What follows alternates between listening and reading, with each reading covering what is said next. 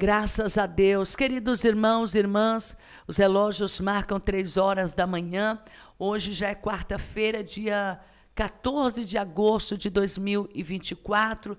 Que Deus abençoe todos vocês. Eu quero convidar nossos irmãos para a oração da madrugada, mas antes quero deixar um versículo que está em Lucas 6, 12. Diz assim.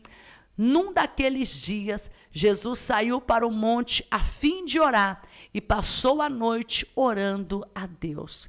Nós temos o maior exemplo de Jesus que orou, que buscou ao Pai. Jesus sempre estava nos montes, nos desertos, clamando e orando a Deus.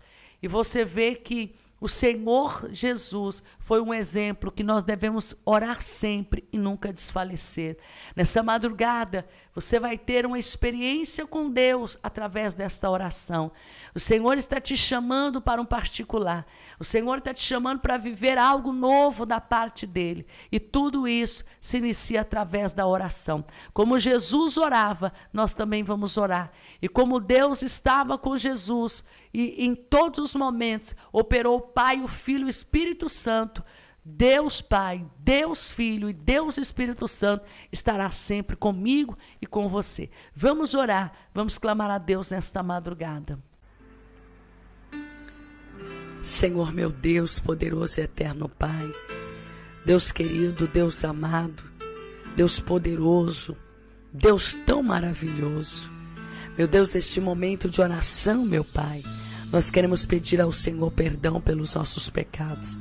Queremos pedir ao Senhor perdão, Senhor, pelas nossas fraquezas.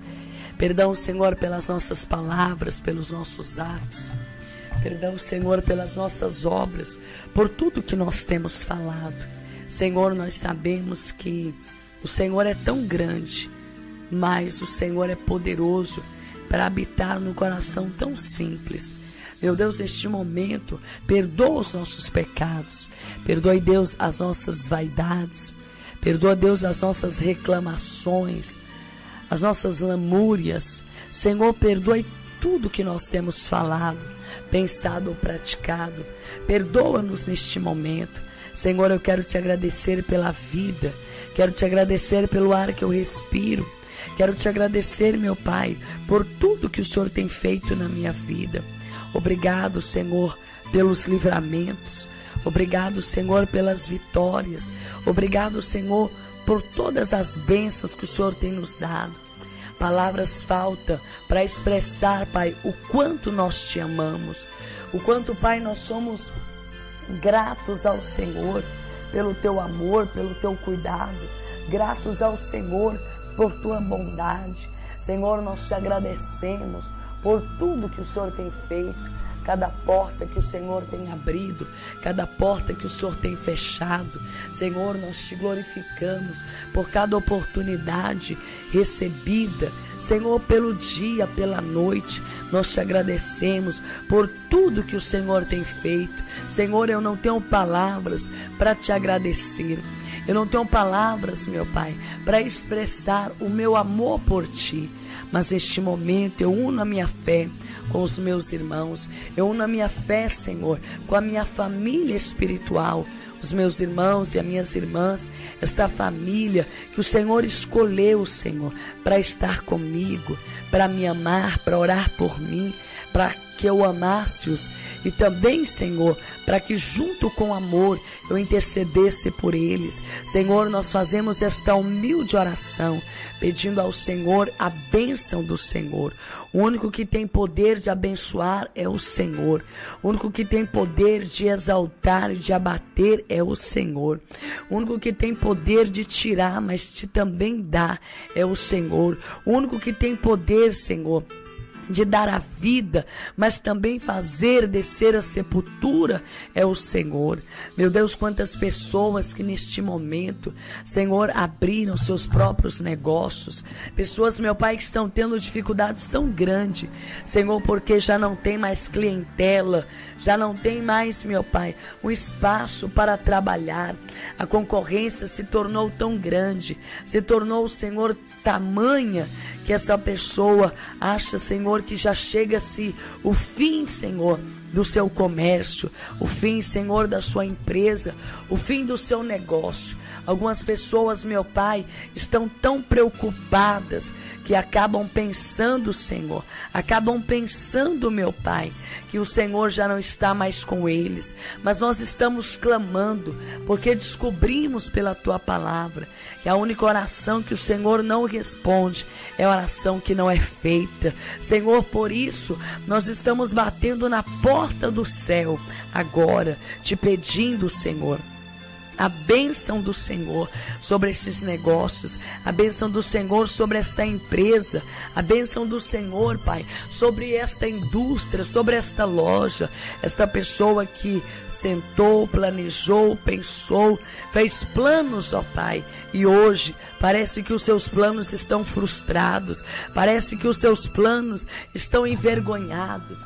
Meu Deus, tem misericórdia nesta hora. Não permita, Senhor, que este empresário, não permita que este irmão, Senhor, que ele é, Senhor, um até mesmo, Senhor, autônomo, que ele é o seu próprio patrão, passe, Senhor, por este momento de perda, este momento, Senhor, de escassez, este momento, Senhor, ah, meu Pai, de falta. Tende compaixão sobre cada vida, tende compaixão sobre cada pessoa, tende compaixão neste momento. Senhor, abençoa os negócios. O Senhor fez uma promessa lá no livro, Senhor, de Deuteronômio. Se nós obedecermos a sua voz, se nós andarmos nos caminhos do Senhor, bendito nós seremos no campo, bendito nós seremos na cidade, bendito nós seremos ao entrar, mas também seremos bendito ao sair. Senhor, que a nossa voz não seria a nossa voz,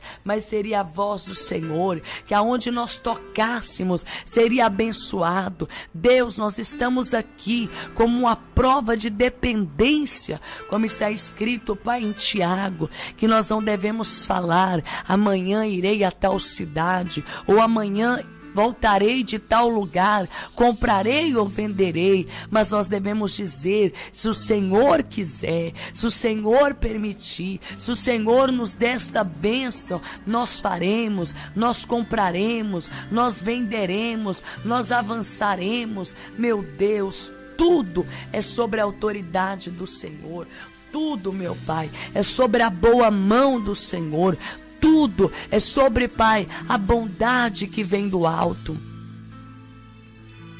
Em nome do Senhor, meu Pai, faça prosperar os nossos caminhos, faça prosperar os negócios deste irmão, este irmão que é pedreiro, prepara para ele serviço, meu Pai. Este irmão que é carpinteiro, prepara para ele, Senhor, serviço. Este irmão, Senhor, que é taxista, guarda o seu trabalho, guarda, Senhor, as suas viagens, guarda, Senhor, as suas corridas. Este irmão que viaja, Senhor, viaja com o seu caminhão, viaja, Senhor, até mesmo, Senhor, com a sua seu carro, viajas com, Senhor, com a sua moto. Deus, tantas pessoas que trabalham, mas que realmente, meu Pai, precisam da sua bênção para os seus negócios, para os seus contratos, precisam da sua bênção, Senhor, para tantas coisas. Prospera a vida deste povo, faça-lhe prosperar em tudo que fizer, faça ser abençoados no sentar, no levantar, no comprar, no vender. Senhor, prospera a vida abundante de cada irmão, Senhor, de cada irmã. Abençoa este irmão, meu Pai, que faz viagem com o seu caminhão. Quantas das vezes este irmão esteve sobre perigo? Quantas das vezes, meu Pai, esta irmã esteve sobre perigo? Mas somente o Senhor para guardar, para proteger. Este irmão Uber, Senhor, que muitas das vezes, Senhor, passa por momentos de tristeza, de aflição, porque sabe que vai sair para trabalhar, mas não sabe se vai voltar voltar, mas eu creio, Senhor, que a proteção do Senhor é maior, meu Pai. A proteção do Senhor é melhor do que qualquer seguro de vida, Senhor, do que qualquer alarme, do que qualquer proteção humana. Está escrito, Senhor, que a aquele que toca em nós. O meu Deus querido, toca na menina dos olhos de Deus. A tua palavra ainda diz mais, Senhor, que aquele que é do Senhor, o maligno não toca. Senhor, guarda os trabalhadores, guarda, Senhor, os caminhoneiros, guarda os taxistas, guarda os motoristas de ônibus, os motoristas de táxi, os motoristas de Uber, guarda, Senhor, os maquinistas, guarda neste momento os carreteiros, todos os irmãos, Pai, que precisam que o Senhor abençoe o seu trabalho, que o Senhor abençoe a sua empresa. Visita os irmãos que têm aquisição de uma loja, que tem, Senhor, uma loja, que tem uma padaria, que tem uma mercearia, que tem, Senhor, um comércio. Quão difícil, meu Pai, este irmão romper com este comércio durante a semana, durante o mês mas abençoa, Senhor, este comércio. Abençoa, meu Pai, os clientes. Abençoa também os funcionários. Deus, todos os irmãos que têm uma empresa, Senhor, de porte grande ou de porte pequeno, mas de uma coisa eu sei, meu Pai, todos eles são abençoados pelo Senhor. Todos eles são abençoados pela mão do Senhor. Existe uma palavra, meu Pai, que do suor do nosso rosto nós viveríamos, que do suor do nosso rosto nós deveríamos de arcar com as nossas despesas. Pai, somente o Senhor para abençoar este negócio, esta irmã que vende roupa, este irmão que vende alimento, esta pessoa que comercializa, faz negócios, faz câmbios, esta pessoa Senhor, que tem a sua vida, Senhor, o seu trabalho. Tem de compaixão, abençoa a sua empresa, abençoa os seus negócios, abençoa as suas vendas, abençoa os seus contratos. Pai, esta irmã, Senhor, que as suas vendas estão caindo tanto, Senhor, de tal maneira que esta pessoa já não tem nem mais o capital para fazer girar, Senhor, o retorno para esta empresa, esta pessoa que já não tem nem mais o dinheiro, Senhor, para pagar esta mercadoria que ela comprou. Senhor, esta mercadoria não saiu, essa mercadoria ficou, Senhor, parada e hoje esta mulher está sofrendo, meu Pai.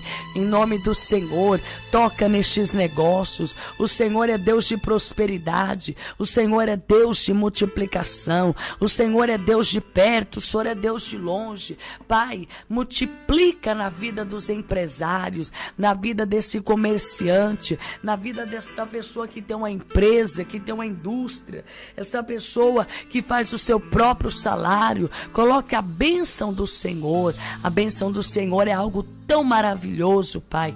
A bênção do Senhor é algo tão tremendo que a Sua palavra nos diz que a bênção do Senhor ela nos enriquece, mas não acrescenta dores. Quantas pessoas, ó Pai, que acreditam, que crê que o Senhor pode prosperar a sua vida sem que Ele precise doar seu dinheiro, a sua alma, os seus pensamentos ao inferno, ao diabo.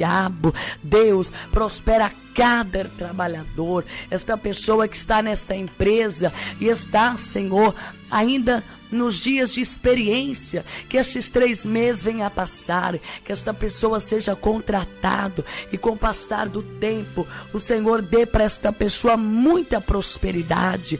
Abençoa, Senhor, esta pessoa que está com o projeto de montar uma loja, de montar, Senhor, uma lanchonete, de abrir um negócio, seja o patrão desta família Seja o patrão deste homem. A tua palavra diz, meu Pai, que seu é a prata e seu é o ouro. Tende compaixão agora. Estenda as tuas mãos, meu Pai. Joga por terra todo impedimento, joga por terra, Senhor, em nome de Jesus Cristo. Estenda tuas mãos, meu Pai, sobre a vida de cada pessoa, Senhor, neste momento. Esta pessoa, Senhor, que fez o arrendamento, Senhor, eu te clamo neste momento, eu te busco nesta hora. Esta pessoa que alugou o Senhor uma loja, alugou o Senhor para montar o seu comércio, não há, Senhor, frequência, não há há visita, ali não há, Senhor, clientela neste lugar. Toca, Senhor, nesta loja, toca neste arrendamento, faz esta pessoa prosperar, faz essa pessoa prosperar. Ainda no dia de hoje, Senhor, ajudando, Senhor, a pagar a despesa, a pagar as dívidas, a pagar as contas. Pai, que todos sejam abençoados. Abençoa este irmão, meu Pai, que ao longo do tempo tem seus funcionários, mas precisa fazer um acerto com eles, mas não há dinheiro no caixa, não estão preparados materialmente para este acerto, para esta revisão de salário. Deus, direcione este patrão, direcione esta patroa, direciona, Pai, esta pessoa que faz negócios, meu Pai.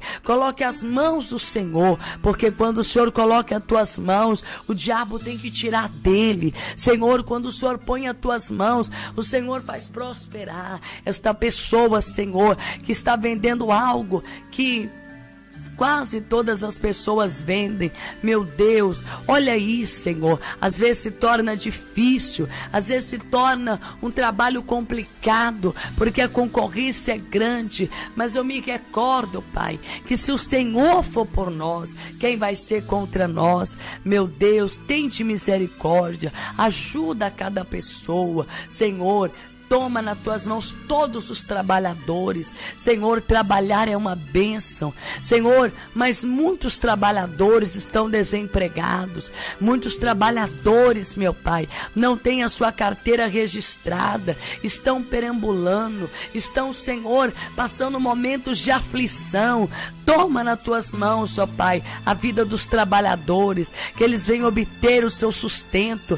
Que eles se alegrem, Senhor, nas batalhas da vida e que no nome do Senhor, Pai, o Senhor venha fortalecer a todos os funcionários, abençoar esta pessoa que é funcionária de uma loja, faz ela subir de cargo. Se irmão, Senhor, que entrou nesta firma há tanto tempo, meu Pai, que ele seja promovido no emprego. Esta pessoa que está desempregada, prospere esta pessoa. Não permita que as batalhas lhe desanime. Não permita que a preguiça lhe pare em todas as áreas da nossa vida. Nós somos chamados para glorificar o teu nome, até na nossa vida material. Senhor, Toma os trabalhos nas tuas mãos. Abençoa este jovem que iniciou, Senhor, esta carreira de trabalho. Senhor, dá vitória para ele. Que ele seja pontual, que ele seja responsável. Abençoa esta moça que já recebeu, Pai, um telefonema.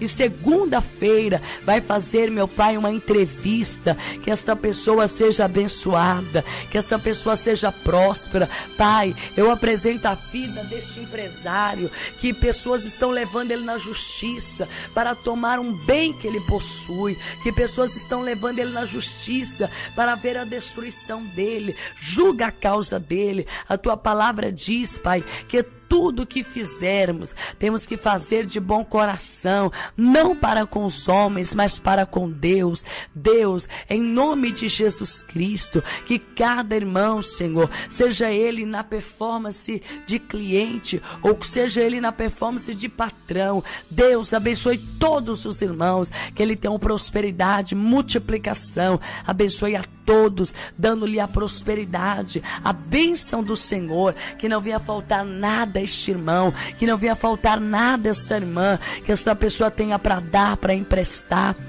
mas não necessite tomar emprestado. Abençoe a todos, ó Pai. Muito obrigado. Em nome do Pai, do Filho, do Espírito Santo de Deus. Amém e amém, Senhor Jesus.